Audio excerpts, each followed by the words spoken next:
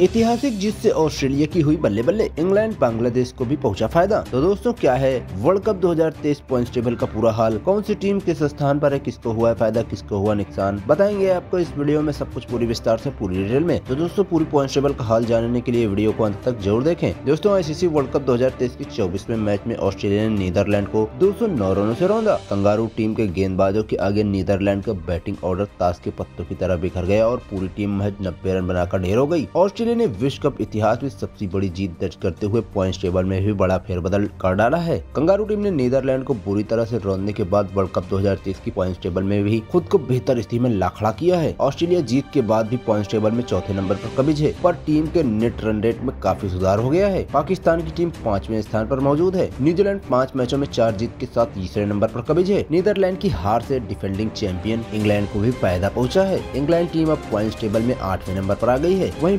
बांग्लादेश नौवे स्थान पर पहुँच गई है। ऑस्ट्रेलिया से हारने के बाद नीदरलैंड टेबल में सबसे निचले पैदल पर आ गई है। भारतीय टीम टॉप पोजीशन पर बरकरार है। तो दूसरे स्थान पर साउथ अफ्रीका का कब्जा है। बाकी दोस्तों, आप पूरी पॉइंट टेबल अपनी स्क्रीन पर भी देख सकते हैं। आप देख सकते हैं कौन सी टीम किस स्थान पर है, किसके कितने पॉइंट हैं।